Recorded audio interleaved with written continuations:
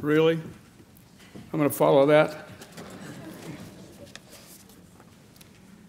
Let me give you a little background here that's kind of different to what I thought about. I was born in 39. So I'm older than most of you and younger than a few. But I played war games, okay? So I was kind of brought up with World War II. And when the Korean War came along, my father had a young man work for him who was 19, and he went to Korea and didn't come back.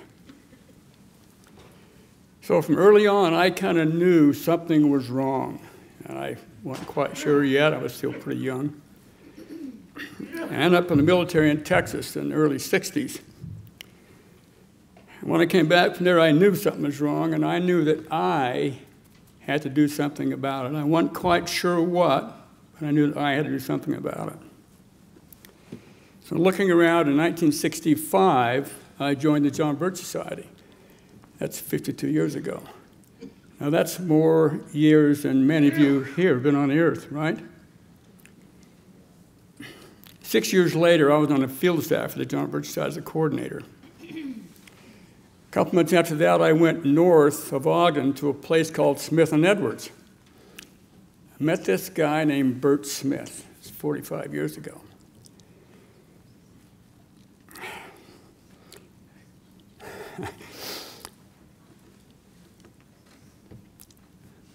what a great soul. Truly, he was. This guy's 96 years old and still working on it. He's still working on it, right? He's doing things, working, working, working on what he sees the problem is. He never quit. He never quit, never thought about quitting. And so at that convention, when I, and hardly anybody comes when I do that. And then about six months later, I get a phone call.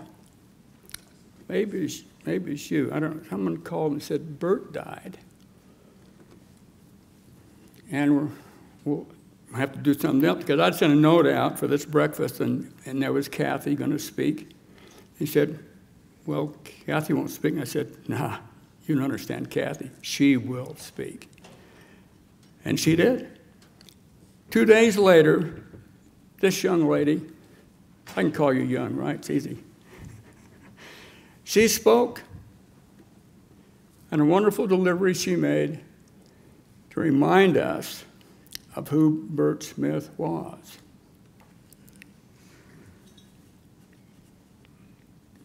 Now, in my 52 years of activity, I've talked to a lot of people, and I've been harassed by professionals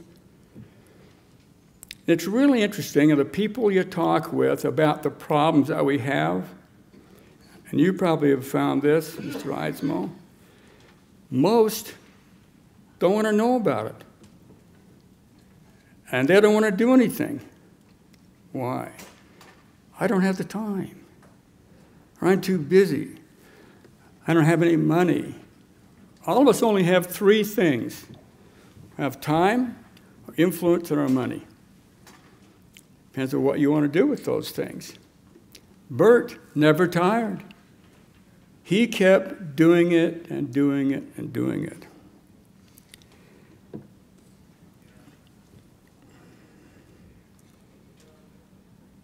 Let me ask you a question. Why are you here? What are you doing here? Anyway, from the Eagle Forum Folk Trip, why are you here? And what are you going to do tomorrow and next week and next month? Brigham Young said years ago, he said, You expect to pick apples off of trees you never planted. Isn't that not how many of our friends are?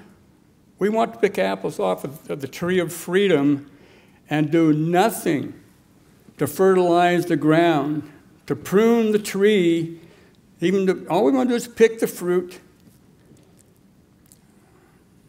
So many people I talk with think that God's going to solve this problem for them, and I say, why would He do that? And when's He going to start? Would it not be true that God helps those who help themselves? Supposing you, you go home today and your house is on fire. Kind of ugly thought, right? Suppose your house is on fire. Can you find me a scripture that says you're supposed to put the fire out? There aren't any. There aren't any. Well, what would you do? It's, it's really interesting how many people think that the Lord's going to solve this problem for them. For them, while they do nothing. Why do we get to that point where we think that we can do nothing and just continue to pick off the apples off the tree of freedom? So, Kathy, like so many other wonderful ladies here and men, some of you I've known for a long time, you have to be commended for continuing the work. And I have to ask myself, okay, I've been 52 years, why am I still doing this? And I don't know. I don't know. Something drives you, am I right? Something drives you pushes you and pushes you and pushes you. Now that you don't know where to turn in your resignation slip, right? Where do you do that? How about tomorrow? Most of us will have forgotten almost everything we've heard today. 80% of what we hear today will be gone tomorrow, right? You just think of all the things you've heard already. How much can you possibly remember? So to study, the DVDs will be available, right? To get that, to review that. It's so important that we remember and that we use. So I asked you the question why are you here? I would hope that the reason we are all here is so that we may become better able to develop to preserve, to teach the principles that what we have experienced for these many years can be preserved. And I wrote a thing not too long ago about how do I want to be remembered? Sort of the title of my talk. It's really how do you want to be remembered? Robert Welch, the founder of the John Birch Society, said years ago, he said, We need more pullers at the oars not riders in the boat. I would like to be remembered as a puller at the oars, not a rider in the boat. Now, Bert Smith, he probably pulled on two oars. And he just kept pulling and pulling and pulling.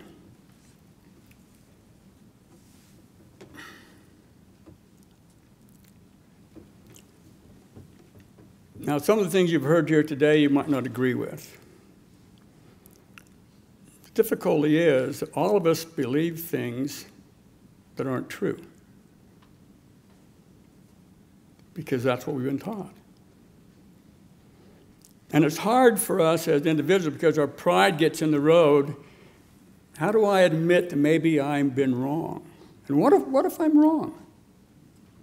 You, you have these discussions with people you know, where you don't agree. Well, we both can't be right. So someone's wrong.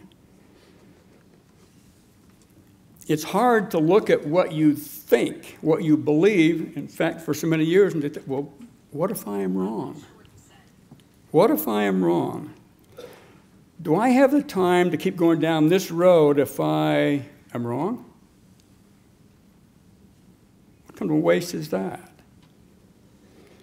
So to be able to look at yourself introspectively and say, okay, is what I believe about this, am I right or am I wrong? And if you're wrong, be willing to change.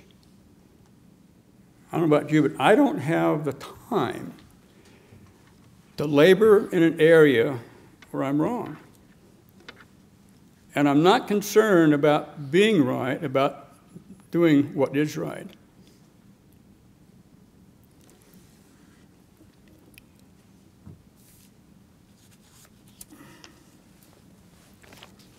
You remember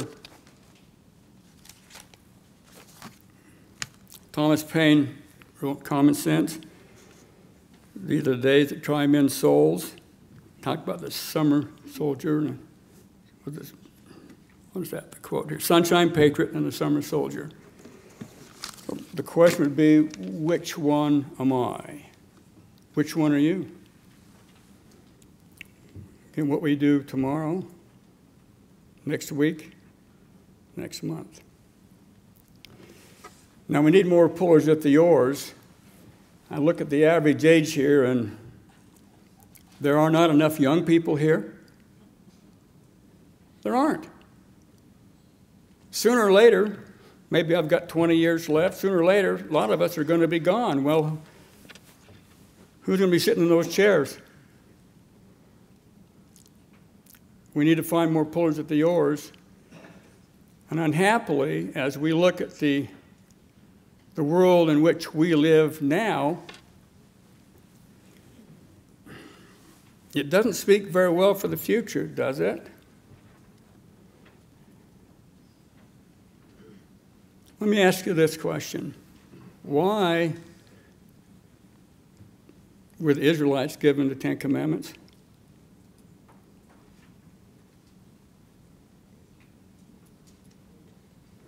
Why were they given the Ten Commandments? They'd been under the, under the Egyptians and Pharaoh for, what, generations? There were about four million of them left went to the desert, and they get the Ten Commandments. Why? What did the Ten Commandments represent? I must admit, I'm not sure I have the answer because I hadn't thought about this. So the other day I was thinking, wait a minute, why the Ten Commandments? What was the purpose for the Ten Commandments? What are they? Know the God before me. Don't lie, cheat, steal, kill. Don't be adulterous. Don't covet, right? What do those tenets represent? An orderly society. They were now without law, except for Moses. But those commandments represented the tool by which civilization would continue. Now, transfer that to today. What does the family represent? Why is the family important? Your families. Why is it important? The family is a primary tool by which your principles or principles of society, civilization, will be transferred to the next generation. That's where we teach children not to lie, cheat, steal, covet, do all those things that make a mess of society. And it's clear from what we see around our country today that a lot of that has gone down the tube. Because a lot of people are thinking, I deserve a free ride. They have not been taught. And the family is in real difficulty. As you heard earlier, what's been happening divorce rates are up, marriage rates are down, illegitimacy rates are up, all these things. And as those things happen, the family structure is disintegrating. And the more that happens, the more uh, civil disobedience, if you will, the more that happens. Consider, if you will, the government school system where many children are now and have and will be taught. What principles are they being taught? Now consider those youngsters in 10 years making laws. Now, what will your job look like in the Utah legislature? That'll be scary. You think your job's hard now? What will it be like then? So let me encourage you. Look at your families, other people you know. My guess out of 100 people, there are three people you know that would be interested in actually doing something, not just, oh, go back to sleep. We need to find those people. which is say you. You need to find those people because we need more pullers at the oars. I hope when my time on this earth is done that I will be remembered like Bert Smith.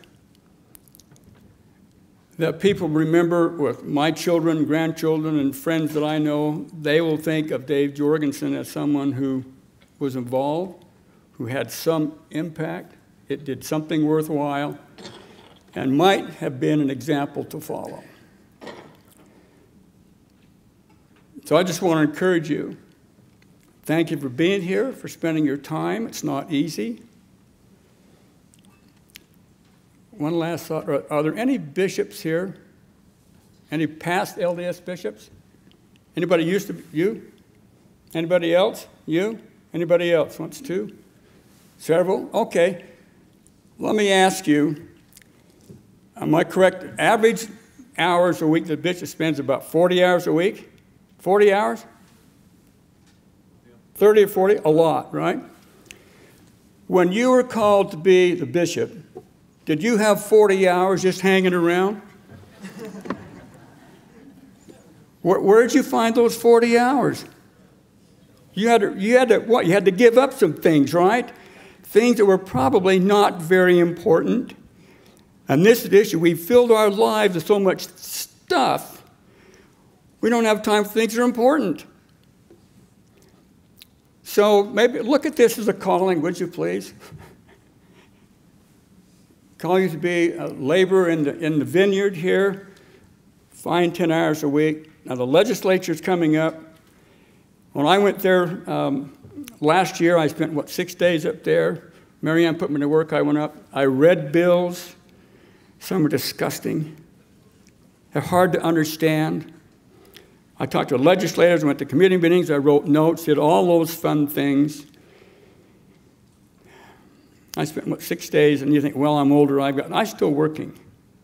I'm still working. Every day I'm working. So I'm encouraging you now go spend time with Eagle Forum at the legislature.